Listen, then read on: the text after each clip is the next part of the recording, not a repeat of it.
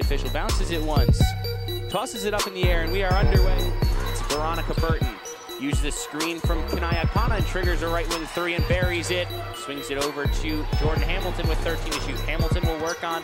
Frazier put up a jumper and it's good from about 10 feet out on the baseline. Pulliam trailer three for Abi Scheid is good. Abi Scheid is such a dangerous trailer because of that dangerous three-point shot. Hamilton dug full court Hamilton dribbling with nothing, three to shoot. Floats it up with from 18 feet and buries it at the buzzer. Jordan Hamilton with a little do-si-do, little spin move, and she lands an 18-footer